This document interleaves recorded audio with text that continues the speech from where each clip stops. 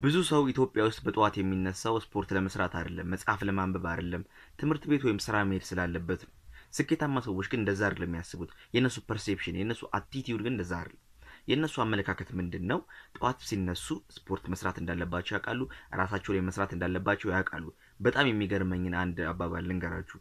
የሰው ልጅ ተቀጥሮ ሲሰራ ወይም ደግሞ ይሄ እየተከፈለው ወር ጠብቆ እየተከፈለው ሲሰራ ገንዘብ ያገኛል፣ ገቢ ያገኛል። ግን ራሱ ላይ መስራት ሲጀምር like በእውቀት ሊሆን ይችላል። like በስፖርት በመስራት ሰውነቱን በማበልጸግ ራሱን በመጠበቅ ሊሆን ይችላል። በተለያዩ ነገሮች ራሱን build እያደረገ ከመጣ fortune ይገነባል፣ ሀብት ይገነባል ይባላል። በጣም አምኜበታለሁ። ላለፉት ሁለት ዓመታት ራሴ ላይ ሲሰራ ቆይቻለሁ። እኔ ራሴ ማለት እኔ ራሱ በዚህ እድሜ ባለፉት ሁለት ዓመታት የዛሬ ሁለት ዓመት ነው ራሴን መስራት የጀመርኩት። ራሴ ላይ መስራት ሲጀምር ብዙ ነገሮች ጥሩ እየሆኑ መጥተዋል። አመለካከቴ ተቀይሯል። ማስብበት መንገድ ተቀይሯል። ስራዎቼ በሙሉ ጥሩ እየሆኑ ነው። successful እየሆንኩ ነው። like አሁን ካለው ጊዜና ዘመን ጋር የሚቀየር እውቀት እንዲኖረኝ እየጣርኩ ነው። ስለዚህ ሁላችንም በዚህ የዚህ ቪዲዮ point ምንድን ነው? በተሻለን መጠን የምንሰራውን ነገር እንወቅ። vision ይኖረን፣ ራዕይ ይኖረን፣ አላማ ይኖረን። ራዕይ አላማ የአላማ አስፈላጊነት ምንድን ነው? ራዕይ አልባነት ጉዳቱ ዝም ብለህ እንድትሄድ ነው የሚያደርገን። ራዕይ ካለህ ግን አላማ ካለህ የምትሄድበት ካለ መድረስ የምትፈልግበት ቦታ ካለ ግን አቅጣጫ አለህ።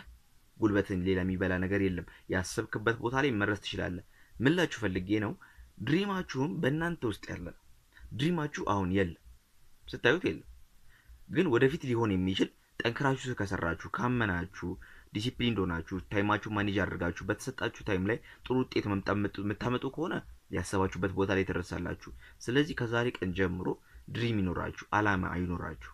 አላማ ከሌላችሁ ዝብርቅርቅ ያለ እይታ፣ ዝብርቅርቅ ያለ መንገድ፣ ዝብርቅርቅ ያለ ነገር ነው ህይወታችሁ ውስጥ የሚኖሩና በተቻላችሁ መጠን dream ይኖራችሁ። ህይወት ምን ለምንድን ነው የምትኖሩት? like እንደዚህ እንድትኖሩ የተፈጠራችሁ ይመስላችኋል? የሆነች ደሞዝ እየበላችሁ ሆነች። እንደዛ አይደለም የተፈጠራችሁት። እናንተ የተፈጠራችሁ ለትልቅ አላማ ፈጣሪ ወደዚህ ምድር ሲያመጣችሁ በዚህ መልክ፣ በዚህ ጾታ፣ በዚህ አይነት physical ወደዚህ ምድር ስትመጡ ያለ አላማ አይደለም የመጣችሁት። አላማ አላችሁ። ያንን አላማ ፈጣሪ የሰጣችሁን አላማ እናንተ በዚህኛው like ዓለም ላይ ገልጣችሁ ማሳየት የእናንተ ኃላፊነት ነው። እናንተ ብቻ የምትፈቱት ችግር ስላለ ነው ወደዚህ ምድር ምድር የመጣችሁት። ስለዚህ ያንን ነገር ደግሞ መፍታትና ያ ነገር ላይ አሪፍ ደረጃ የመድረስ የእናንተ ሙሉ ኃላፊነት ይሆናል ብዬ ተስፋ አደርጋለሁ። የዛሬ ቪዲዮአችን ይመስል ነበር። አጠር እንዳለባችሁ ተስፋ አደርጋለሁ። ግን በቃ ዋናው ሀሳብ ስለሆነ ነው። like፣ share፣ subscribe ማድረግ አትርሱ። ቤተሰቡ ነው